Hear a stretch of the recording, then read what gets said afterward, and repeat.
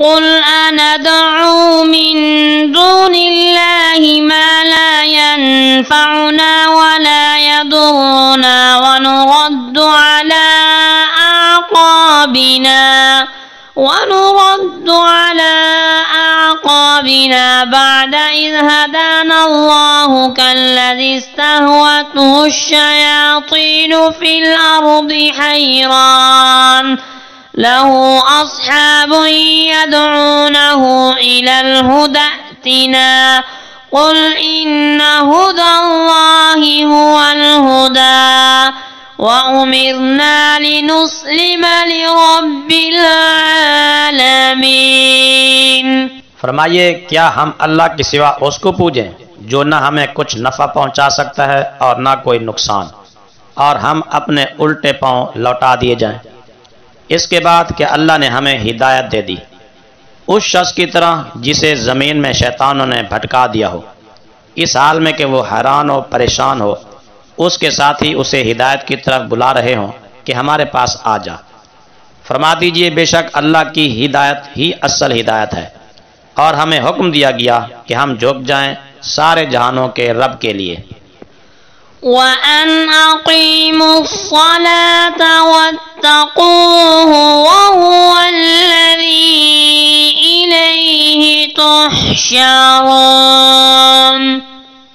और ये कि तुम नमाज कायम रखो और अल्लाह से डरते रहो और वही है जिसकी तरफ तुम जमा किए जाओगे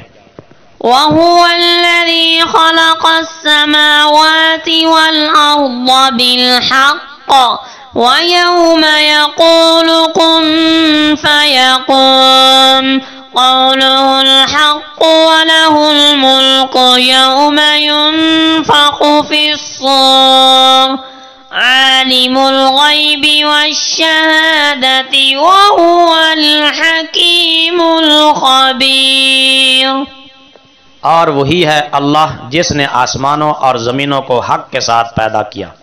और जिस दिन वो कहेगा हर फना शुदा को हो जा तो वो हो जाएगा उसका फरमान हक है और उसी की हुकूमत होगी जिस दिन सूर फूंका जाएगा हर पुशीदा और जहर का जानने वाला है और वही निहायत हिकमत वाला खूब खबरदार है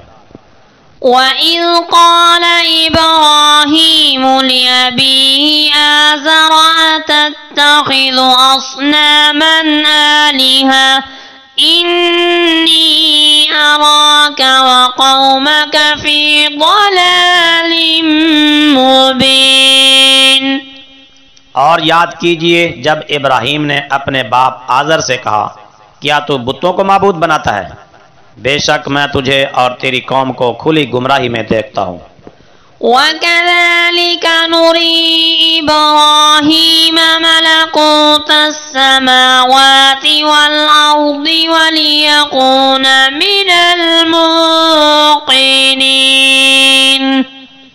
और इसी तरह हमने दिखाई इब्राहिम को सारी बादशाही कुल मखलूक़ात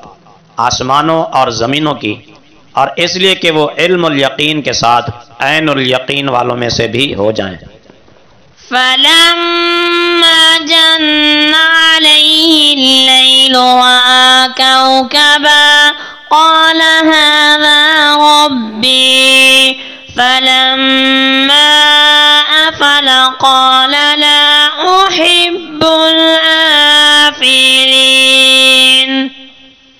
फिर जब रात उन पर तारीख हो गई तो उन्होंने एक सितारा देखा कहा यह मेरा रब है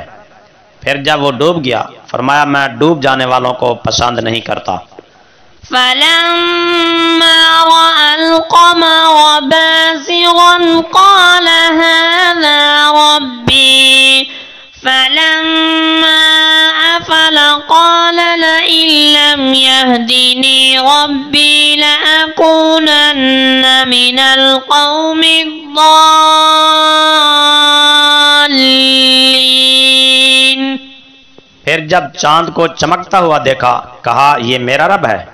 फिर जब वो गायब हो गया तो फरमाया अगर मेरा रब मुझे हिदायत न देता तो ज़रूर मैं भी गुमराह होने वाली कौम में से हो जाता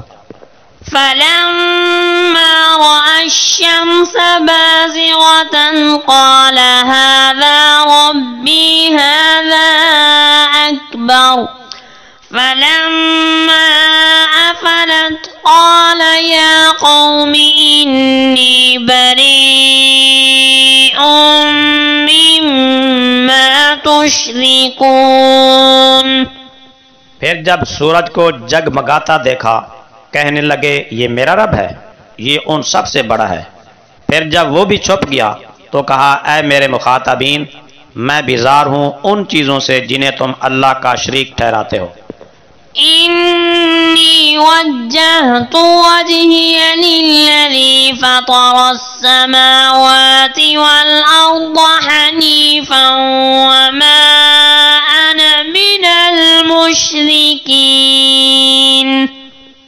बेशक मैंने यकसु होकर अपना रुख उसी की तरफ कर लिया है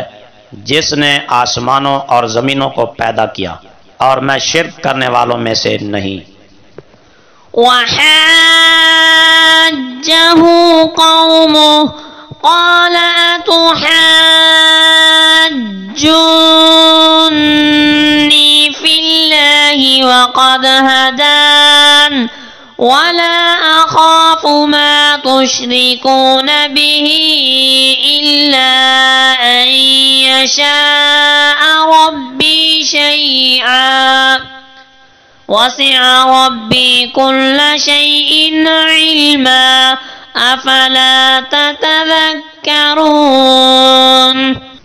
और उनके मुखातब लोगों ने उनसे झगड़ा किया उन्होंने कहा क्या तुम मुझसे झगड़ते हो अल्लाह के बारे में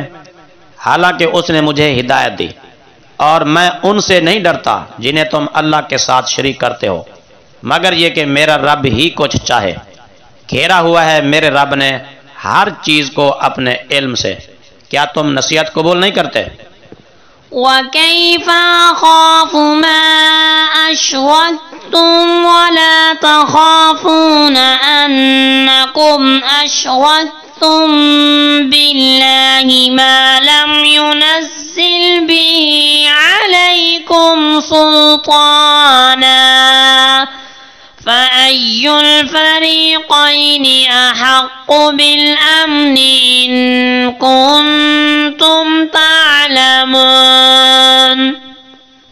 और मैं कैसे डरूं उनसे जिन्हें तुम अल्लाह का शरीक बनाते हो हालांकि तुम इस बात से नहीं डरते कि तुमने अल्लाह के साथ उस चीज को शरीक बनाया जिसकी कोई दलील अल्लाह ने तुम पर नाजिल नहीं फरमाई तो अब तुम ही बताओ हर दो फरीक में से अमन का ज़्यादा हकदार कौन है? अगर तुम कुछ इल्म रखते हो।